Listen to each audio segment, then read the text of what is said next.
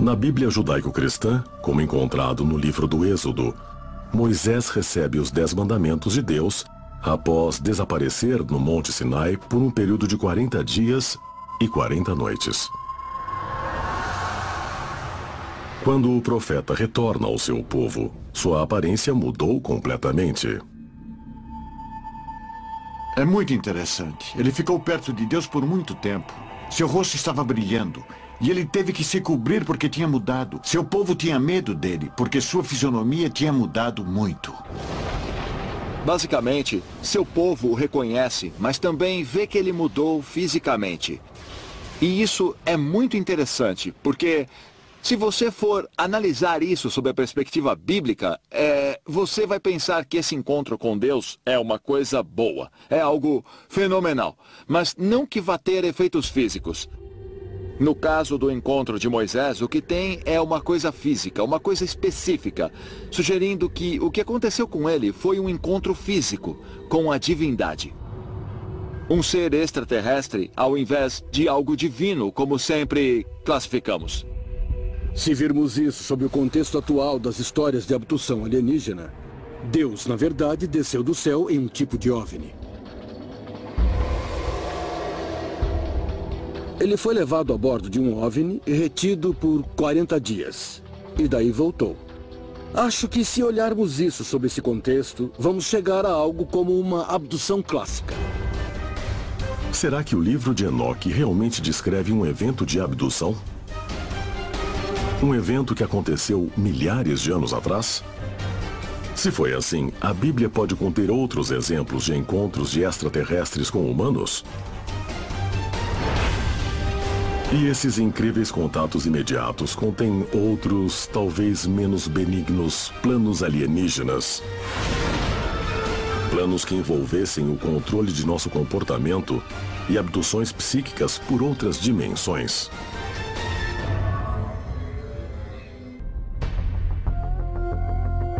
Pesquisadores dizem que abduções por alienígenas têm ocorrido há milênios. Esses eventos extraordinários teriam sido documentados no mundo antigo. A evidência pode ser encontrada no que muitas pessoas acreditam ser as páginas que faltam na Bíblia judaico-cristã.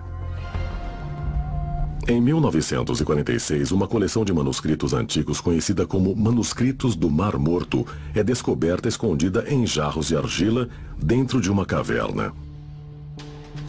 Entre os manuscritos está o Livro de Enoque, o chamado texto bíblico perdido, no qual o profeta hebreu chamado Enoque descreve em detalhes seus encontros extraordinários com seres de outro mundo.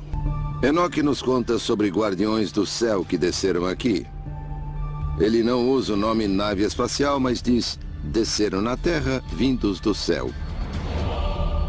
Ele é o único que fala na primeira pessoa. Eu fiz, eu pensei, eu voei, eu tive contato com os chamados Guardiões do Céu. Enoque foi levado do nosso planeta Terra pelo Senhor em uma carruagem de fogo. Eles não eram anjos, eles não eram deuses, eles eram extraterrestres de carne e osso que o levaram para um tipo de veículo para então escrever o conhecimento do universo, como ele o chama. Nossos ancestrais achavam que tudo que testemunhavam tinha a ver com magia, quando na realidade isso não era nada mais do que tecnologia mal compreendida. Será que os relatos bíblicos de Enoque e Moisés sugerem um encontro extraterrestre? Onde seres alienígenas trazem mensagens de paz e harmonia para os humanos?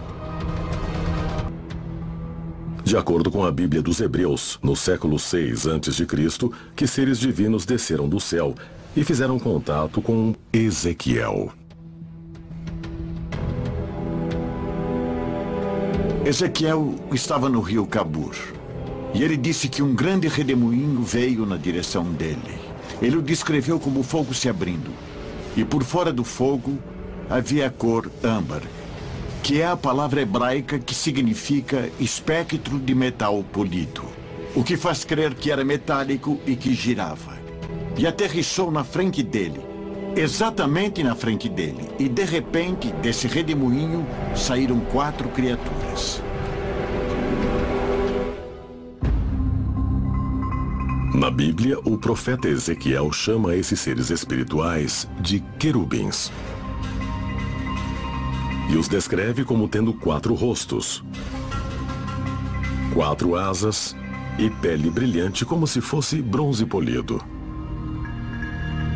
Ezequiel diz que ele foi levado ao céu e foi a diferentes lugares onde ele pôde ver diferentes coisas. E daí lhe falaram sobre coisas futuras que iriam acontecer.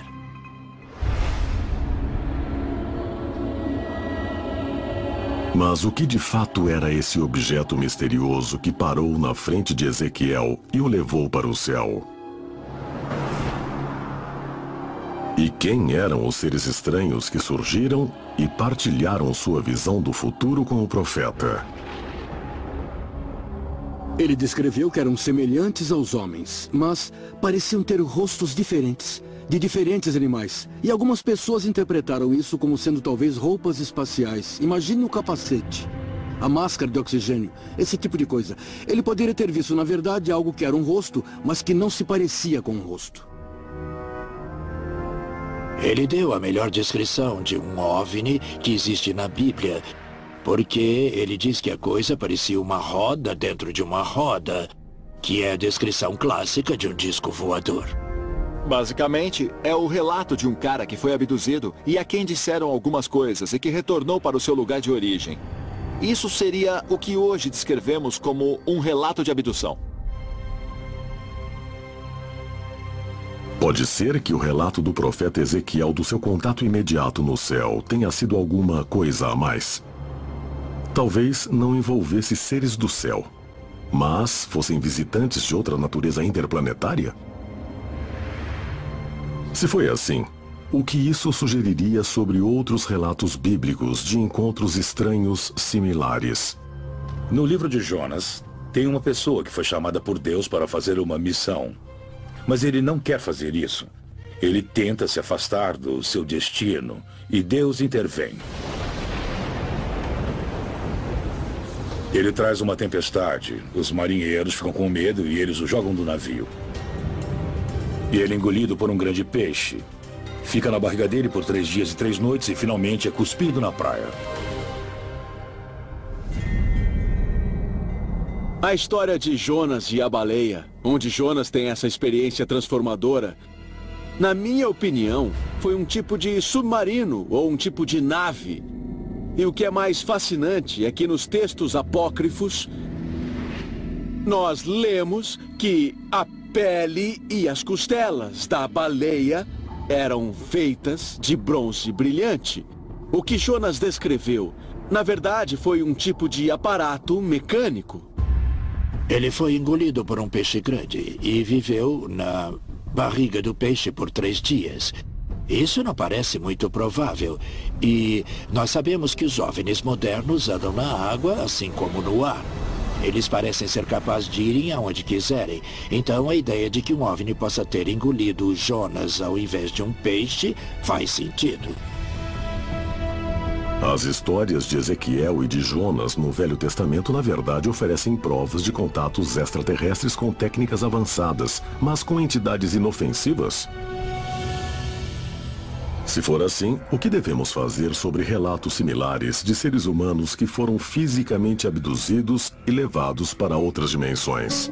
Relatos históricos islâmicos do Hadi Dizem que Mohammed, o último grande profeta, foi enviado por Deus para unir as tribos da Península Árabe sob uma única religião, o islamismo. Antes de formar o Islã, Mohammed deve se retirar para uma caverna na montanha onde ele receberá uma série de revelações de Deus. Mohammed tiraria um período de tempo a cada ano para refletir e rezar em uma caverna nas montanhas próximas. Durante um desses retiros, o anjo Gabriel veio e tinha uma profecia para ele e foi seu guia em seu ministério. O anjo Gabriel é conhecido no Velho Testamento. Ele faz aparições ali. Ele também anuncia o nascimento de Jesus e João Batista no contexto cristão. Quando ele vai até Mohammed, nós vemos que esse anjo, de repente, torna-se muito mais importante. De acordo com a lenda muçulmana, Mohammed teve uma estreita relação com Gabriel. Durante um dos retiros de Mohammed, dizem que Gabriel deu ao profeta o texto completo do Alcorão. No caso de Mohammed, o que nós vemos é que ele fica com ele durante 23 anos. Ele revela o Alcorão para ele. E mais uma vez mostra a você que havia esses mensageiros dos deuses, essas entidades que vinham até nós, seres humanos, e diziam: Você foi escolhido. Se quiser nos ouvir e trabalhar conosco, nós vamos lhe dar informações sobre o divino. Agora o anjo diz a Mohammed: Eu vou levar você comigo. Eles voam sobre a Terra. Ele vê o planeta todo. Eles circundam a Terra. E daí o anjo traz Mohammed de volta à caverna. Eles circundaram a Terra muito, muito rápido. Provavelmente levou um minuto e meio para dar a volta completa na Terra.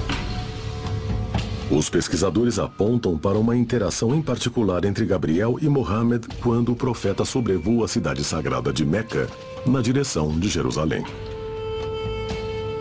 O anjo Gabriel veio a Muhammad com uma criatura, um cavalo alado, o Burak, que era capaz de levá-lo voando até Jerusalém para a chamada mesquita mais distante.